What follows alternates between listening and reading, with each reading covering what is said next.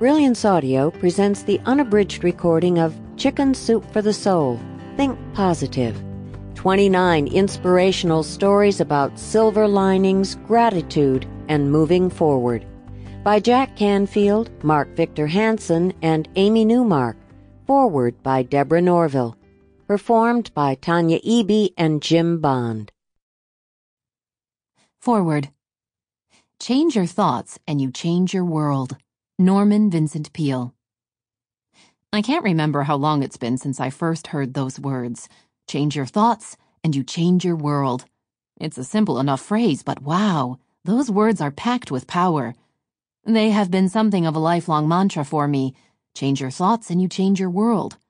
When times are tough, when I feel so frustrated by disappointments and not reaching my goals, I repeat those words in my head and make a conscious, almost physical effort to change course, recalibrate, and steer my little ship of self in a fresh, more positive direction. The other day, I was speaking to a group of women in the financial industry, and one woman asked to what I credited my long television career. I had to think for a moment.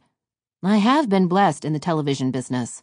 I started working at the CBS station in Atlanta when I was still in college and interviewed then President Jimmy Carter on live TV when I was only 19 years old.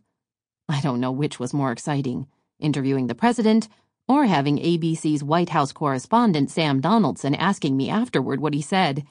You could have shot me and my tombstone would have read, She died happy.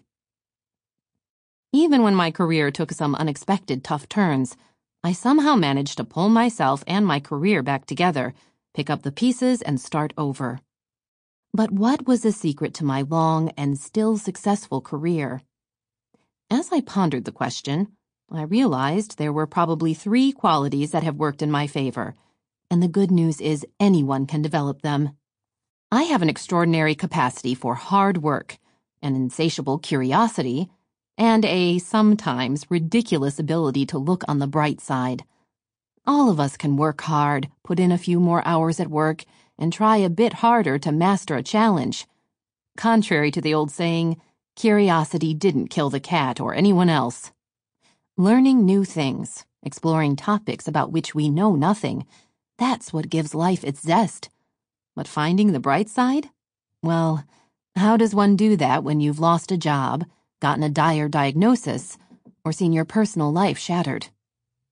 For me, finding the silver lining in life's clouds was Sample complete. Ready to continue?